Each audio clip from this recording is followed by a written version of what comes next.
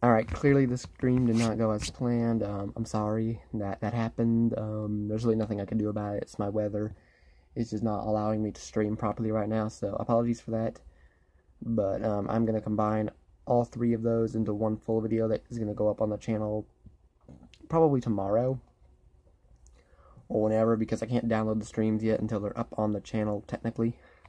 So it's going to take me a little bit.